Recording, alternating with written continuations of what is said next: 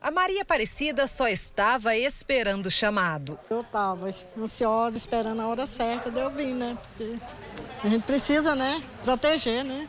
Ela faz parte do grupo de pessoas acima de 55 anos que começou a se vacinar nesta terça-feira em Anápolis.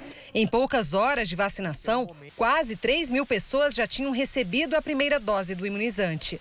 Nove pontos estão disponíveis para a população cadastrada vir a pé ou de carro. Anápolis abriu também um cadastro para pessoas acima de 50 anos. A ideia é fazer um levantamento da quantidade desse público para, assim que cheguem novas vacinas, esse grupo possa se vacinar. O município hoje só tem doses da AstraZeneca, Coronavac e Pfizer estão em falta. Portanto, grávidas e puérperas que só podem receber uma dessas vacinas vão ter que esperar. Estamos aguardando agora um novo carregamento de AstraZeneca que deve chegar é, até o feriado e também um novo carregamento de Pfizer, de acordo com, com o que está chegando em São Paulo agora nesse momento. Mais de 139 mil doses foram aplicadas nos moradores da cidade. O risco de um colapso no sistema municipal de saúde é considerado leve, apesar da taxa de ocupação de leitos ter subido um pouco nos últimos dias.